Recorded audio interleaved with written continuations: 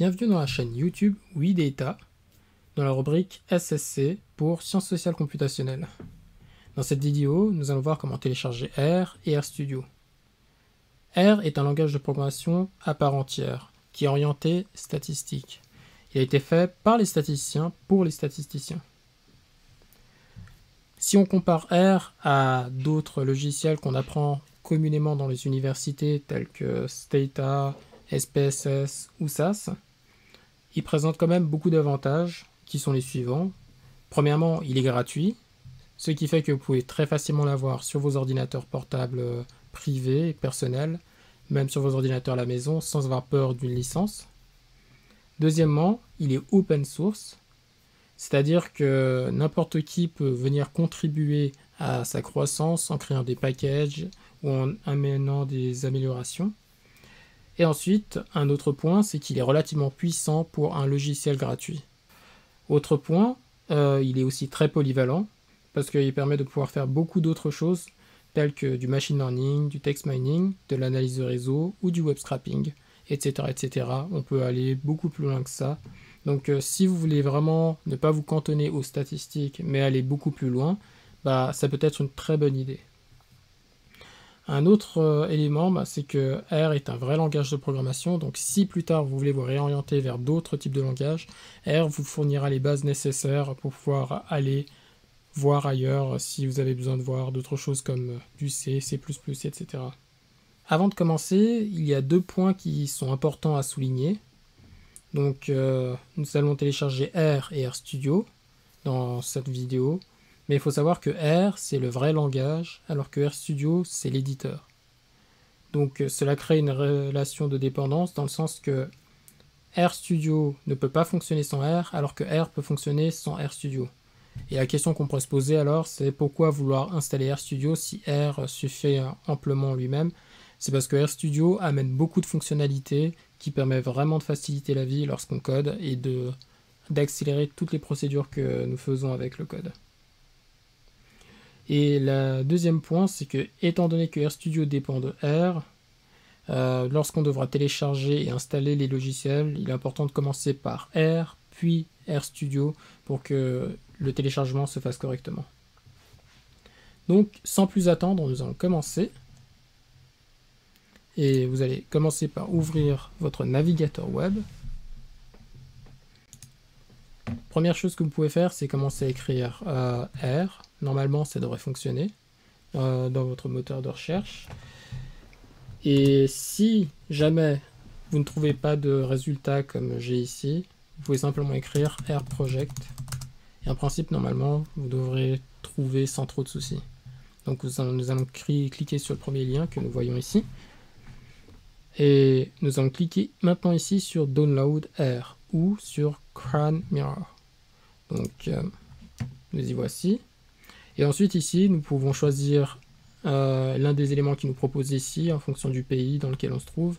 On peut très bien cliquer sur la Suisse, mais on peut aussi tout simplement cliquer sur euh, celui-ci qui permet de pouvoir être redirigé sur le serveur mondial.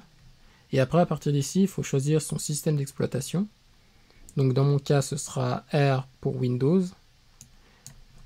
Et ensuite, ici, il suffit juste d'installer la base et cliquer sur euh, installer R pour la première fois. Donc, on va cliquer et ensuite cliquer sur gros lien ici.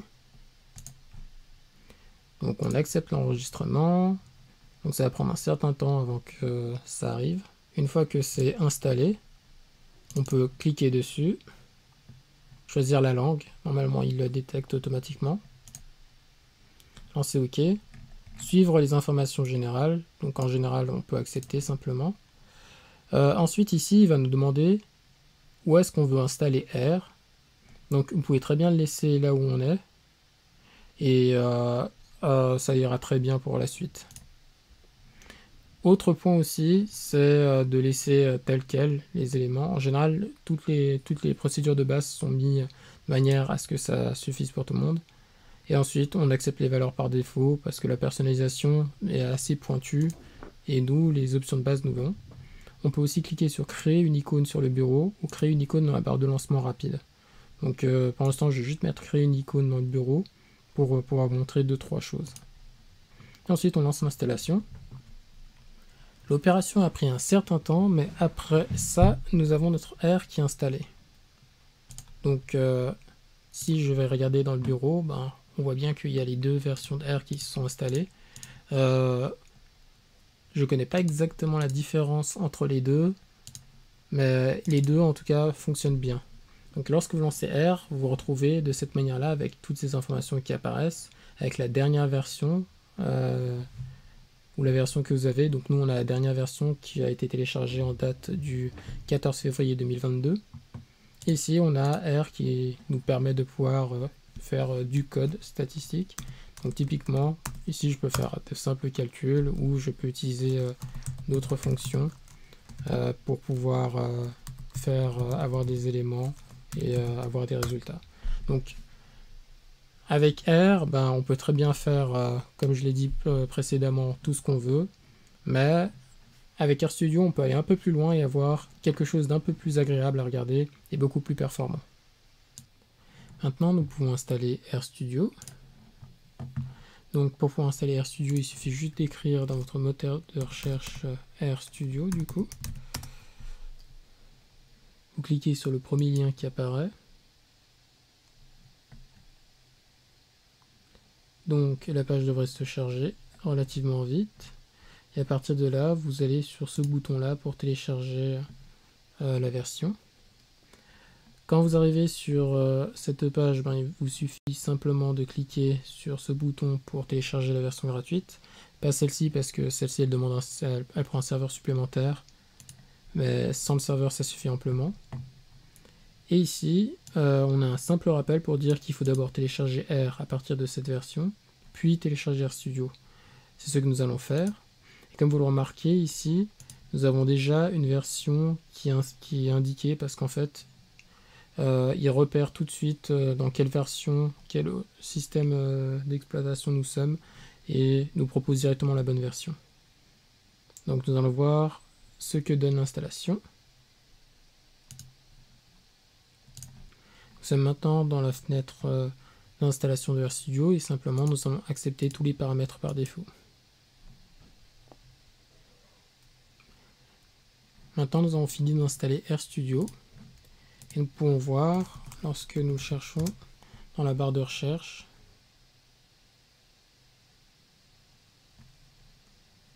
voilà à quoi ressemble l'interface de RStudio.